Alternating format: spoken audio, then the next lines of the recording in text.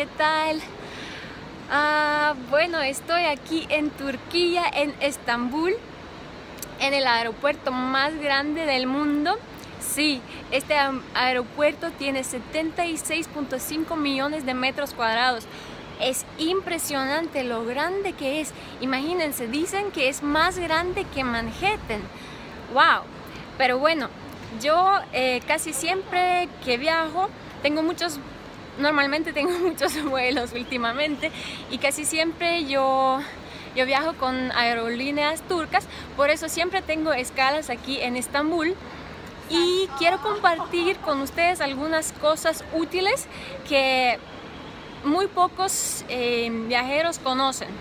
Entonces, una cosa es que, por ejemplo, si tenemos que esperar, tenemos una escala aquí en Estambul y hay que esperar más de 12 horas, una vez yo incluso eh, tenía que esperar eh, como 10 horas, entonces se puede ir al punto de aerolíneas turcas aquí, punto de información de aerolíneas turcas aquí y con el pasaporte y bueno, y ellos te van a indicar a dónde tienes que irte para que te lleven al hotel. Pero hay una cosa muy importante que saber por ejemplo, nosotros somos ucranianos, nosotros no necesitamos visa para, para Turquía, entonces podemos sin ningún problema salir eh, e ir a este hotel.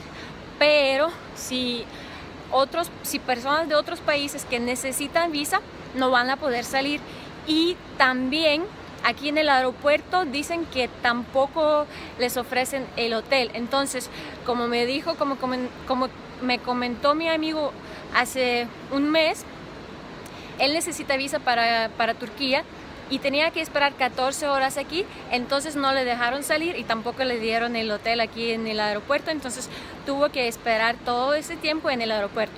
Pero si ustedes tienen el pasaporte que no necesita visa a Turquía, pueden salir sin ningún problema.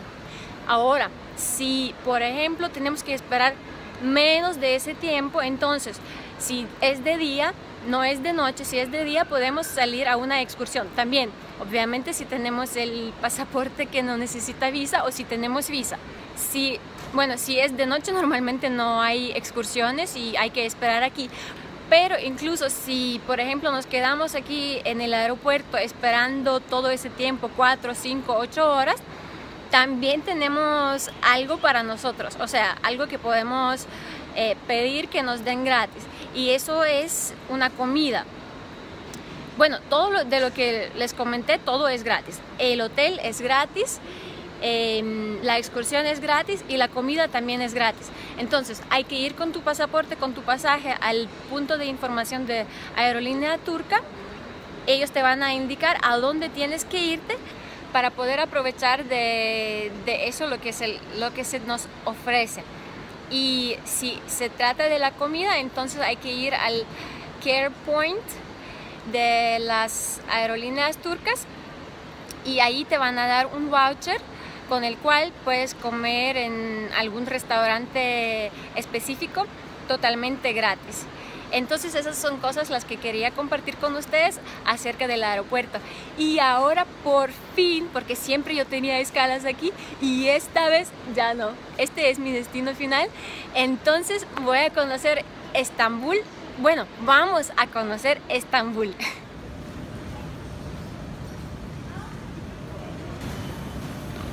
wow, ya por fin, después de no sé, media hora o algo así, dando vueltas, bueno, no dando vueltas, pero caminando, caminando, caminando, hasta llegar, hasta encontrar el lugar donde, donde están eh, las maletas, ya las tenemos y vamos a salir afuera.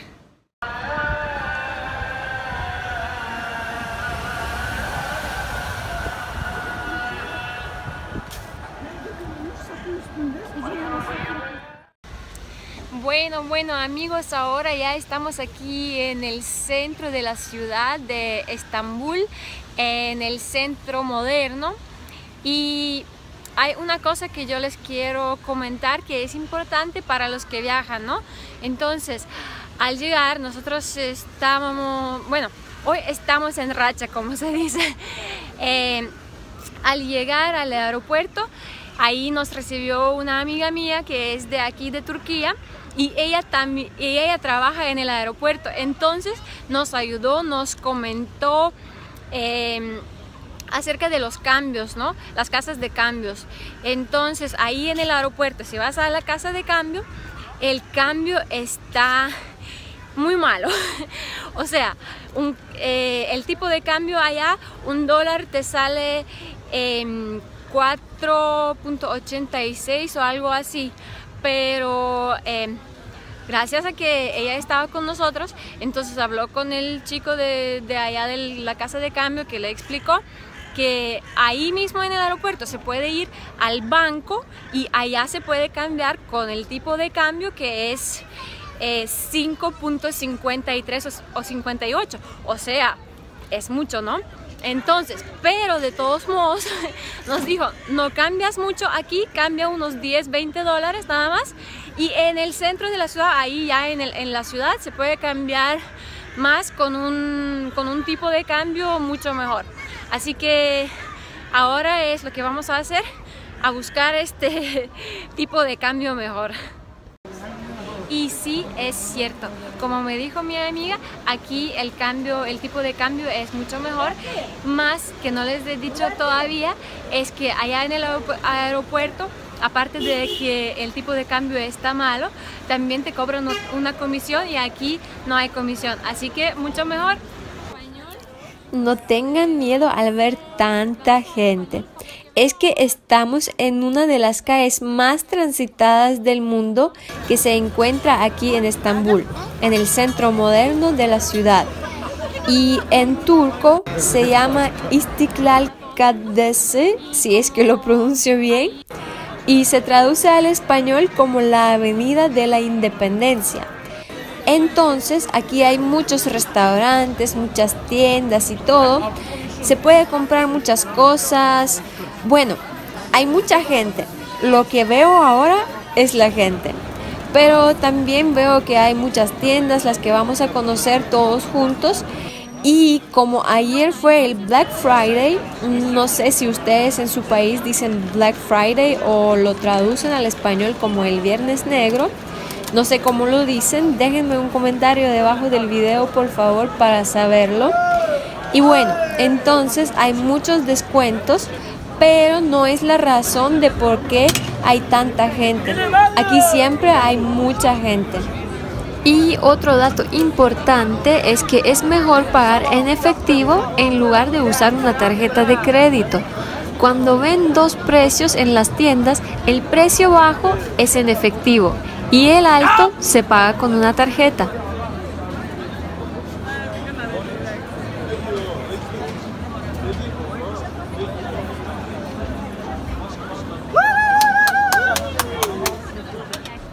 Y aquí, en la misma calle Istiklal, tenemos el museo de figuras de cera más famoso del mundo, Madame Tussauds. Es bueno saber que si compras las entradas por la página de internet, te sale más barato que comprarlas en el museo. Así que debajo del video les dejaré el enlace. Y el día de hoy empezamos con la bendición de la lluvia.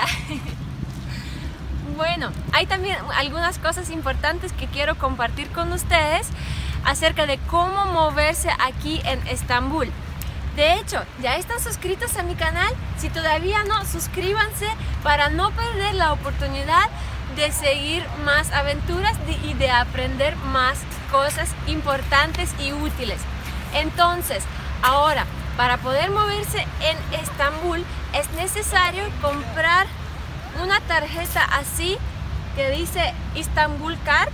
Entonces, con esa tarjeta se puede, se puede mover por metro, por bus, por, em, por los barcos, que nosotros vamos, bueno, íbamos a, a tomar un barco para ir a otra parte de la ciudad, pero todavía no hay, hay que esperar hasta las 12 de la tarde. Entonces, por pura casualidad o por la bendición de la lluvia, llegamos aquí al Palacio Do bueno, no lo puedo pronunciar ahora, pero después lo voy a revisar. El Palacio Dolmabahce. Aparte de ser el lugar más bello para mi gusto, aquí en Estambul También es el edificio más grande de Turquía. Se pueden comprar entradas a la sección administrativa por 60 liras, la que recomiendo, y al harem por 40 liras. Todas las partes más bonitas y preciosas están en la sección administrativa. Lo que sucede conviene. Una de mis frases favoritas y las vuelvo a repetir. Lo que sucede conviene.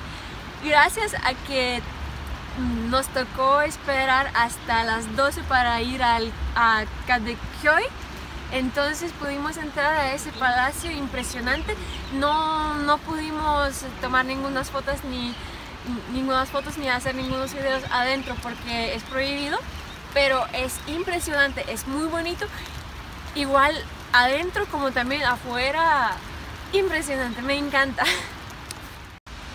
Y esta es la entrada al Museo de Relojes. Adentro podemos ver relojes de los siglos 18, 19. Son súper bonitos, pero tampoco se puede grabar videos o tomar fotos ahí. Pero es totalmente recomendable. Y no importa que está lloviendo porque de todos modos todo aquí está súper, súper, súper bonito. Y como dice la canción, pero la, cambio como siempre un poquito. ¿A quién le importa que está lloviendo? si estamos disfrutando, eso es lo que importa, ¿no?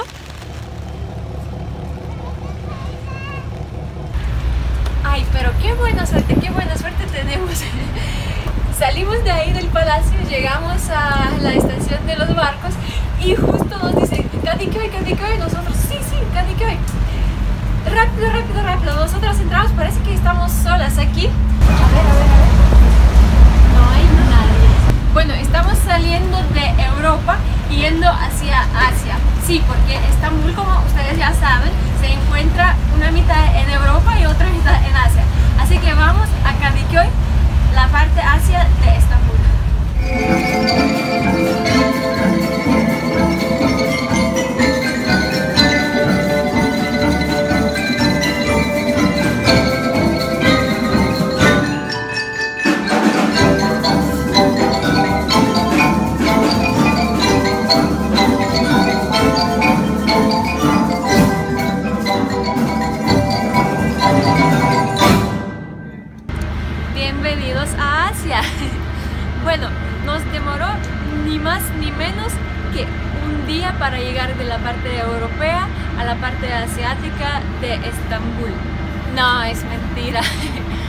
Realmente es que ayer, cuando vinimos aquí, ah, nos equivocamos y fuimos a otro lugar, entonces no era el, el lugar que estábamos buscando y por eso hoy volvimos y hoy ya sabemos a dónde tenemos que ir.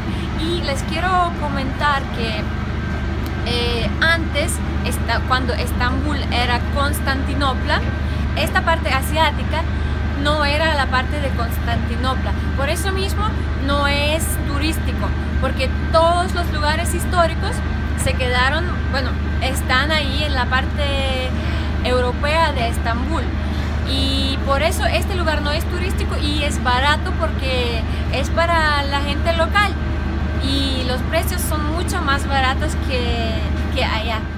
Esta es la calle en a donde vamos y queda cerca del toro, este que toda la gente está tomando fotos con él. Entonces, si están en Estambul y buscan cosas de buena calidad y de precios baratos, este es el lugar a donde hay que ir.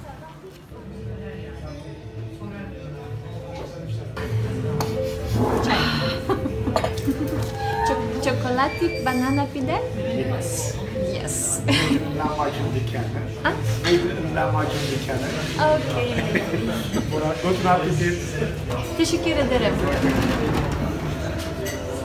Bueno, ahora voy a probar este chocolate banana pide, así se dice en turco. Es, no sé qué es, pero tiene banana adentro y chocolate. Y está hecho ahí en esta no me acuerdo cómo se dice en español, pero espero que alguien me lo escriba ahí abajo en un comentario y vamos a probarlo. qué tal es.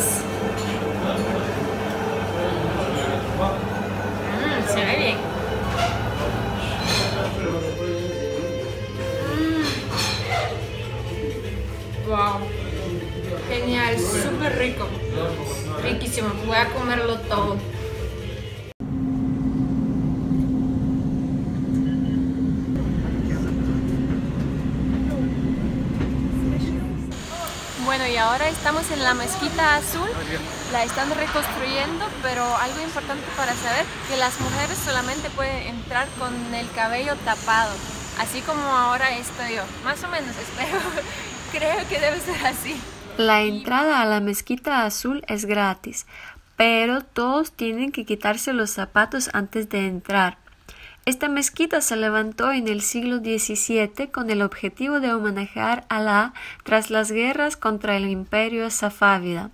Fue el sultán Ahmed I quien ordenó su construcción, pensando que la mala fortuna en las contiendas se debía a que Alá se había enfadado con los turcos.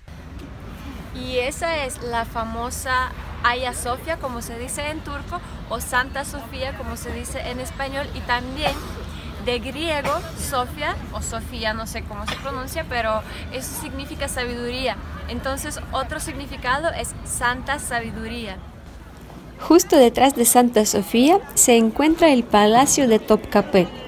Es un palacio que sirvió como residencia de la dinastía otomana y centro administrativo durante casi 400 años, hasta que se quedó pequeño. Después se trasladaron junto al Bósforo al palacio de Dolmabahce, el que visitamos por la bendición de la lluvia. Y ahora el palacio sirve como museo y conserva algunas reliquias sagradas del profeta Mahoma. La entrada al museo cuesta 72 liras. El palacio se sitúa entre el Cuerno de Oro y el Mar de Mármara, ya que desde ahí se tienen unas vistas magníficas del Bósforo. Y ahora de vuelta estoy en el aeropuerto de Estambul.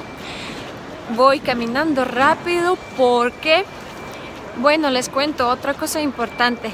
Si ustedes vienen aquí a Estambul, si compran algo que cuesta más de 100 liras, 120 liras, entonces pueden pedir una factura tax free y le van a dar algo así. Entonces antes de antes del viaje, antes del vuelo, tienen que ir a, a buscar la oficina tax free aquí en, en el aeropuerto para que les devuelvan algo de dinero. Eh, realmente todavía no sé cómo funciona, pero ahora vamos a ver. Bueno, entonces aprendí algo nuevo. Ah, dependiendo de la aerolínea con la cual ah, tengo mi vuelo, tengo que ir al, al, ah, al punto de, de, esta, de esta aerolínea. Entonces ahí me van a devolver el impuesto. Así que ahora voy a buscar estoy buscando aerolínea turca. Ya lo encontré. Aprendí una cosa más. Entonces hay que demostrarle todo lo que compré con el tax free. Así puedo recibir mi, mis impuestos. Y ahora tenemos que ir a Global Blue. Es después del check-in, después de de pasar por la seguridad, hay que buscar la oficina de Global Blue y ahí es donde nos van a devolver el, el impuesto. Ya encontramos la puerta de donde vamos a salir y ahora antes de terminar mi video, antes de pedirles que me sigan y que me den el like, em, aún les quiero decir unas cosas que son importantes para los viajeros. Bueno, yo opino así que cuando uno viaja a otro país tiene que aprender por lo menos las frases básicas. Eh, es lo que yo siempre hago y eso es algo que me, siempre me ayuda a, no sé, encontrar la gente buena que siempre me ayuda en el camino. Entonces, una clase de turco que aprendí aquí. Solamente unas cuantas palabras les voy a decir. La primera y más importante es para saludar. Para decirle hola decimos merhaba, merhaba. Eso significa hola. Después, para decir adiós, decimos güle güle. güle güle significa adiós. Eh, para preguntar cuánto cuesta si queremos comprar algo, cuánto cuesta, decimos eh, nekadar. Nekadar significa cuánto cuesta. Si queremos decir que es muy caro, entonces decimos chokpajale. Chokpajale significa muy caro. Y para decirle gracias, decimos teşekkür ederim. Teşekkür ederim significa gracias. Entonces yo les digo teşekkür ederim por ver este video y güle güle. Adiós. Nos vemos en el próximo viaje.